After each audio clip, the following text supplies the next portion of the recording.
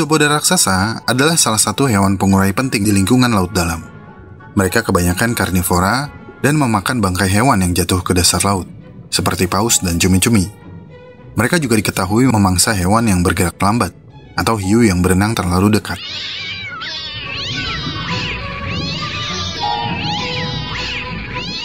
Ada sekitar 18 spesies isopoda raksasa yang dikenal, dan mereka diklasifikasikan sebagai raksasa atau super raksasa. Karena mereka bisa tumbuh hingga berukuran sangat besar, antara 17 hingga 76 cm. Kalau kamu takut berhadapan langsung dengan isopoda raksasa, seperti saya, kemungkinan besar kamu pernah bertemu dengan salah satu kerabatnya. Kutu kayu atau pillbug. Mereka adalah jenis isopoda yang jauh lebih kecil yang hidup di tanah.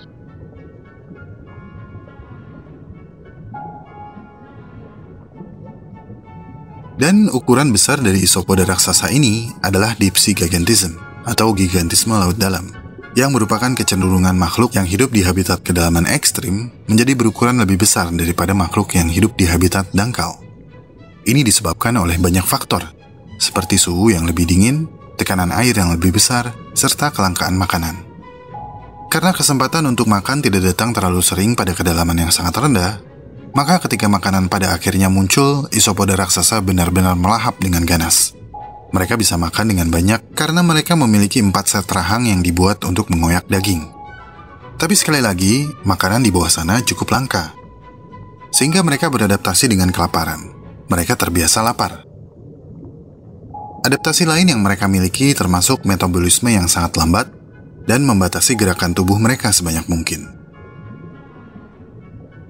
Faktanya, ada kasus di mana isopoda yang dipelihara di penangkaran di Jepang tidak makan dan seperti tidur selama hampir 4 tahun.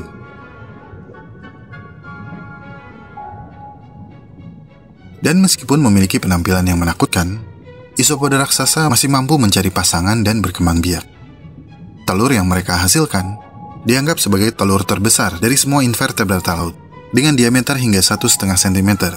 Dan ketika bayi isopoda raksasa menetas, mereka sudah sepenuhnya terbentuk, seperti versi mini dari orang tuanya.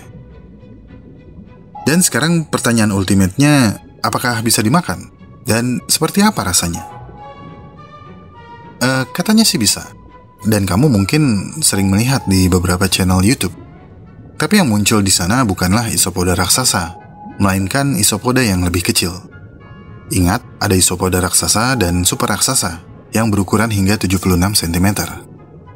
Bagi yang sudah mencoba, katanya sih rasanya seperti udang atau kepiting, tapi lebih strong. E, makasih, tapi saya lebih memilih makan udang atau kepiting beneran. Ini adalah zona senja atau twilight zone. Titik di mana habitat mulai menjadi kejam terhadap para penghuninya, yang memaksa mereka beradaptasi dengan sempurna dari keterbatasan fisiknya. Tidak sedikit yang harus menghadapi kegelapan seumur hidupnya, sehingga banyak hewan yang memiliki mata yang sangat besar, seperti owlfish misalnya, yang memiliki mata yang sangat besar, yang mampu menyerap cahaya dari segala arah.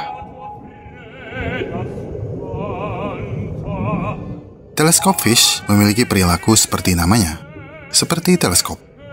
Mengapung berdiri menghadap ke atas supaya matanya mampu menerima sedikit cahaya untuk membantu melihat mangsa yang lewat di atasnya. Di sisi lain, ikan seperti whalefish memiliki mata yang relatif kecil dibandingkan ukuran tubuhnya. Whalefish tidak bisa melihat keadaan di sekitar mereka,